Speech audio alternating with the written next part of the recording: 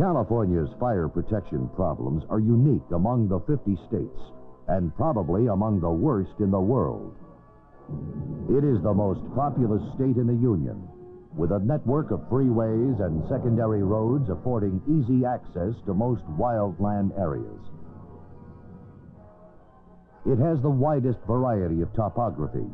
Nearly any terrain in the world, from the glacial slopes of the Himalayas to the blistering Sahara dunes, can be duplicated in California at some season of the year.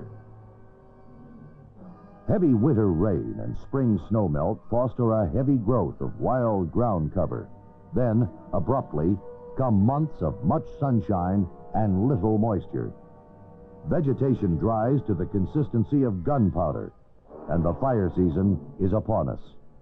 The hazard is further augmented, usually in September, by strong drying winds. The problem is particularly acute in Southern California, where the Santa Anas blast in from the northeast in three or four day cycles. Velocities may reach up to 70 miles per hour, and any spark is a potential holocaust.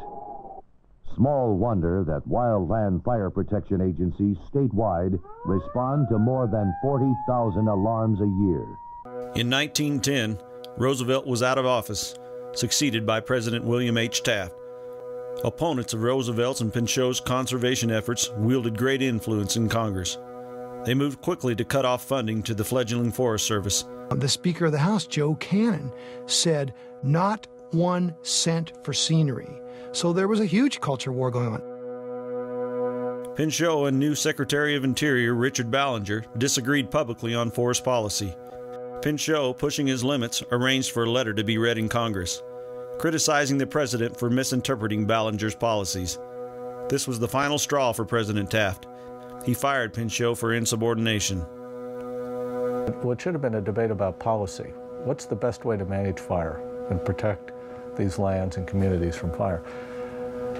Got sidetracked into a battle about politics.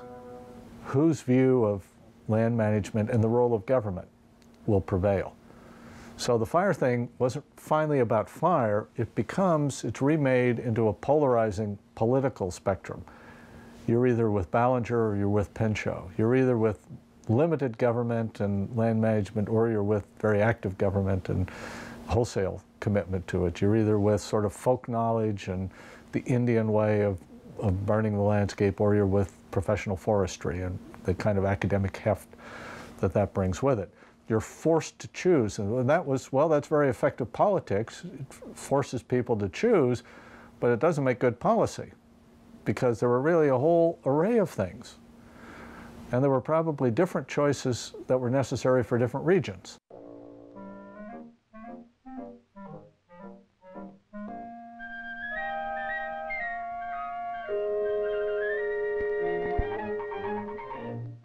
They named him a Little Smokey Anne in a special Piper Cub plane took him on another trip by air. This time it was clear across the country, over America's farms, factories, and cities. Finally, little Smokey and his plane landed in Washington, our nation's capital.